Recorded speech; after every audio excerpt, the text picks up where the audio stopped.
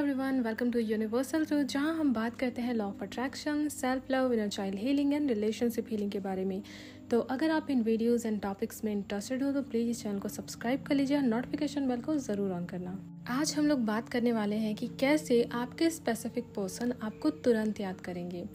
और आज इस वीडियो में मैं आपके साथ में मेरी एक सब्सक्राइबर की सक्सेस स्टोरी शेयर करना चाहती हूँ, जो कि बहुत ज़्यादा परेशान इस बात से थी कि उनके सेवन इयर्स का रिलेशनशिप यूँ ही टूट गया था कुछ रीजंस की वजह से और उनके स्पेसिफिक पर्सन उनसे बिल्कुल भी कांटेक्ट नहीं कर रहे थे। जब उन्होंने मुझसे बात की थी तो वो बहुत ही ज़्यादा सैड थी, दुखी थी इस बात से कि कैसे उनके स्पेसिफिक पर्सन जिनके साथ वो सात सालों से रिश्ते में थी, कभी भी उनके रिश्ते में ऐसी लड़ाई नहीं हुई थी। तो सडनली क्या हो गया, किसकी नज़र लग गई उनके रिश्ते को, कि उनके जीवन में इतनी बड़ी चीज़ हो गई कि उनका जो रिश्ता था वो टूट गया, उनके स्पेसिफिक पर्सन ने एक बार भी उन्हें ना कॉल किया, ना उन्हें मैसेज किया, ना उनसे पूछा कि आप कैसे हो, कुछ भी नहीं, सीधा नो कांटेक्ट वो इतनी ज़्यादा शॉक में चली गई कि उन्हें कम्प्लीटली डिप्रेशन हो गया एंड उनकी हेल्थ भी डाउन होना स्टार्ट हो गई। जब उन्होंने मुझसे बात की तो उन्होंने बोला कि मेरे पास कोई होप नहीं है कि मेरी विश फुलफ़िल होगी, क्योंकि मुझे लगता है कि किसी ने कुछ करवा दिया है, कोई ब्लैक मैजिक है। अदरवाइज़ मेरे जो पार्टनर है वो ऐसे बिल्कुल भी नहीं थे। मैंने उन्हें समझाया कि चाहे जो भी हो, आपको इतना ज़्यादा निगेटिव नहीं होना है, भले ही सिचुएशन ख़राब है, लेकिन अगर आप चाहते हो कि सिचुएशंस अच्छी हो जाए, अच्छी चीज़ें आपकी लाइफ में मैनिफेस्ट हो तो फिर आपको हिम्मत रखनी होगी पॉजिटिव सोचना पड़ेगा, क्योंकि लॉ ऑफ़ अट्रैक्शन क्या करता है कि अगर हम किसी चीज़ के बारे में नेगेटिव होते हैं तो और भी ज़्यादा नेगेटिविटी को अट्रैक्ट करना स्टार्ट कर देता है। जैसे फिर एनर्जी हमारे अंदर होती है लॉ ऑफ़ एनर्जी की वजह से वैसी ही एनर्जी हमारी लाइफ में अट्रैक्ट होती है। अगर लॉ ऑफ़ एनर्जी को आपको समझना है तो फिर आप इस वीडियो को जो स्क्रीन पर आ रही है, उसे देख लेना। मैंने इसके पहले ये वीडियो अपलोड की थी, आप समझ जाओगे कि आपको कैसे एक्ट करना होता है।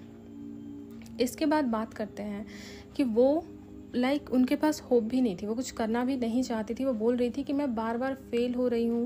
मुझसे कुछ नहीं हो रहा। मैंने उन्हें समझाया कि देखो आप अगर नेगेटिव माइंडसेट के साथ में फियर के साथ में कोई भी काम करोगे तो रजिस्टेंस बहुत ही ज़्यादा आएँगे। आपको वो काम करने नहीं दिया जाएगा और फिर आप फेल होते चले जाओगे। इस वजह से अल्टीमेटली क्या होता है कि भरोसा टूट जाता है कि कोई भी चीज़ आपकी सिचुएशन को हील कर सकते हाउ एवर इस बार एक नई शुरुआत कीजिए, फिर से एक बार ट्राई कीजिए और इस बार मैं जैसे बता रही हूँ, पहले वो करिए। फिर मैंने उन्हें सिखाया कि कैसे वो अपने स्पेसिफिक पर्सन के कॉल को मैनिफेस्ट कर सकती हैं बट उन्होंने साफ़ साफ़ बोल दिया कि वो कोई अफर्मेशन नहीं कर सकती, वो कोई मेडिटेशन नहीं करेंगी, वो कुछ नहीं करेंगी, क्योंकि ये सब करते हुए उन्हें ना, वो कर ही नहीं पाती, बहुत ज़्यादा स्ट्रेस एंड एंगजाइटी उन्हें होती है। उसके बाद मैंने उन्हें जो चीज़ सिखाई थी, जो मैंने उन्हें बताया था, वो मैं आपको बता रही हूँ, वो चीज़ आप फॉलो करो, जैसे उन्हें सक्सेस मिली है, जैसे उनके स्पेसिफिक पर्सन ने उन्हें याद किया मैनिफेस्ट किया उन्होंने अपने स्पेसिफिक पर्सन को, बिल्कुल वैसे ही आप भी इजीली मैनिफेस्ट कर पाओगे। मैंने उन्हें समझाया कि आपको प्रतिदिन कुछ मिनट निकालने हैं, चाहे वो आधे घंटे का टाइम हो, पंद्रह मिनट का टाइम हो, आपको मिरर के सामने जाना है। मिरर के सामने का टाइम जो है, दो पार्ट में डिवाइड होगा। पहला पार्ट होगा फॉरगिवनेस एंड सेकेंड पार्ट होगा टेलीपैथी तो फ़र्स्ट पार्ट में उन्हें क्या करना था? अपने स्पेसिफिक पर्सन पे जिस वजह से वो नाराज़ हैं, गुस्सा है या जो नेगेटिव वाइब्रेशन वाली फीलिंग्स है, मैंने उन्हें समझाया कि आपको सबसे पहले उन चीज़ों को ऐसे इमेजिन करना है, अपनी फिगर जो आपकी आती है मिरर में, उसे देख करके कि वो आपके स्पेसिफिक पर्सन है। यानी आप अपनी आँखों में देख के ऐसा फील करो कि आप अपने स्पेसिफिक पर्सन से बात कर रहे हो। इसके बाद जो भी लाइक नेगेटिव फीलिंग्स है ना, सारी चीज़ें गुस्से को नेगेटिविटी को बोल के निकाल दो। अगर आपको उस समय मिरर के सामने जाके भूल जाते हो तो फिर सारी चीज़ों को लिख दो और उस वक्त वहाँ जाके बोल दो और उसके बाद लास्ट में आपको बोलना है कि मैं अब इन सबसे आज़ाद होना चाहती हूँ। मैं आपको माफ़ करना चाहती हूँ और मैं भी मुक्त होना चाहती हूँ। ये चीज़ आपको करनी है। ये हो गई आपकी फ़र्स्ट प्रैक्टिस दूसरी चीज़ ये थी कि आपको क्या करना है? एक लेटर लिखना है और जो जो आप अपने स्पेसिफिक पर्सन से सुनना चाहते हो, जो भी बातें लाइक वो आपसे कितना प्यार करते हैं, वो आपको कितना याद करते हैं, आप उनके लिए कितना प्रीसियस हो, ये चीज़ आपको लिखनी है और इसे भी अपने मिरर के सामने जा कर के पढ़नी है और फिर क्या करना है? सिंपली फील करना है कि ये सारी चीज़ें आपके स्पेसिफिक पर्सन आपको बोल रहे हो।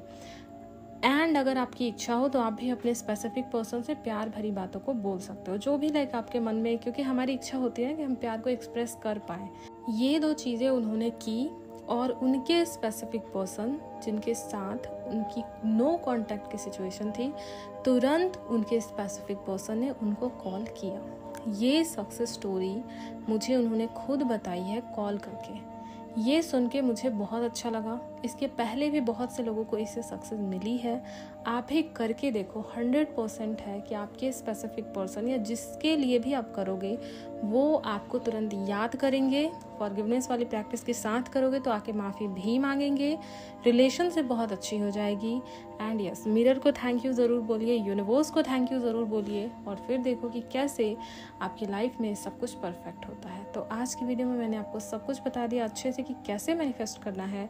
ट्राई करके देखो हंड्रेड परसेंट सक्सेस मिलेगी और वीडियो से कुछ सीखने को मिला है, अच्छी लगी है तो वीडियो को लाइक करना चैनल को सब्सक्राइब कर लीजिए। एंड अगर पहली बार मेरे चैनल पे आए हो तो आपको वेलकम है। सब्सक्राइब कर लो, बहुत अच्छी अच्छी नॉलेज मिलेगी मैनिफेस्टेशन की ऐसी ट्रिक्स मिलेंगी, जो कि आपकी हंड्रेड परसेंट विश को फुलफिल करेंगी। एंड टेलीग्राम चैनल को ज्वाइन कर लीजिए, जिसका नेम है universal truth YouTube channel Instagram को भी आप फॉलो कर लीजिए। And thank you so much watching this video thank you so much I love you